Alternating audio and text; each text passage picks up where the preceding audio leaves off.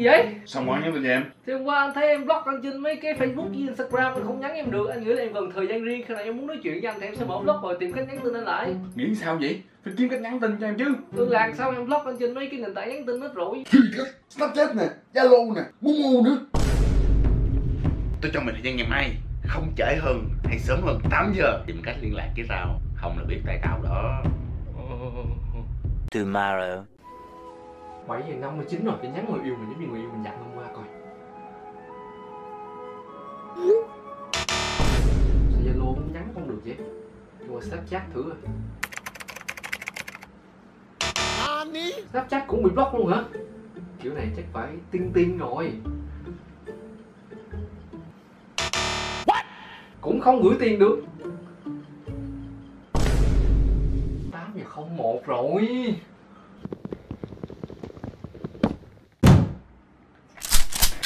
Tại sao mày không nhắn tao?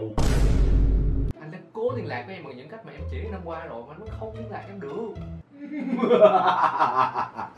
Mày nghĩ em dễ vậy hả? Tao đã cho mày những cái giải pháp rồi thì phải lóc mày khỏi những cái giải pháp đó chứ. Tại sao? Tại vì tao muốn mày sáng tạo. Người ta nói Muốn thì tìm cách. Tao cho mày ngày mai đó thôi Tìm cách liên lạc với tao. The next morning. hay giờ sao vậy ta?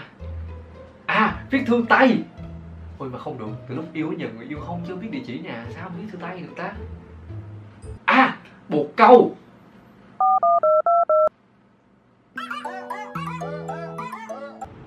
Alo. Anh ơi bên mình còn bộ câu đưa thư không anh? Anh không biết sao tối hôm qua ai vô nhà anh lấy hết cái một câu rồi em. Ây da. Ủa mà còn con nào đấy chứ đừng làm nhiệm vụ về không anh? Con nói chắc chưa bị bắt đâu hả? À ờ ha.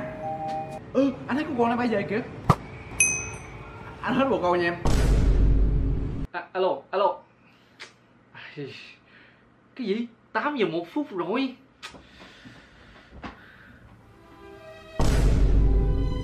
Em ơi, em xin lỗi em tìm hết cách rồi mà không có cách nào liên lạc với em hết. Ai nói mày hết cách. Cách nào nữa